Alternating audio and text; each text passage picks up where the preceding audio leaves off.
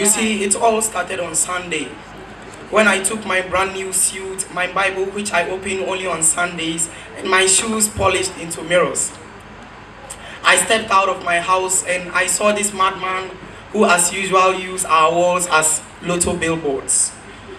He looked at me and said, Boss, it fell on deaf ears because in my mind he was a madman. He asked me a question Who is a Christian? I looked at him and laughed. He repeated the question again and again and again. I looked at myself, my Bible, which I open only on Sundays. I had no answer. They say two heads are better than one, so I also ask you who is a Christian?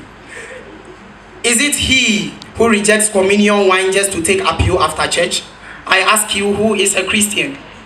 Is it he who gives his girlfriend 400 Ghana cedis a week, but on Sunday gives the church one Ghana cedi and requires 50 pesewas as change? Who is a Christian? Is it he who prays to God, begging for forgiveness, but slaps his neighbor when he mistakenly steps on his foot? Is it he who picks up a quarrel in the morning, goes to church, comes back to continue his battle? I ask you, who is a Christian? Is it she who dresses so nice to church just to snatch a church sister's husband? Or he who keeps WhatsApping in church while sermon is in progress. I ask you again, who is a Christian?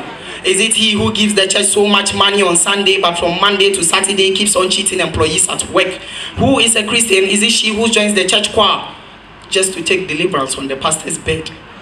We do not know who a Christian is, but I don't think a Christian is she who wears club wear to church. What we all know is that none is perfect. But what I, the poet of poets, he who stands on the high mountain Kilimanjaro just to look at the whole African continent and give his words, what I tell you is that Christianity is a responsibility. Thank you.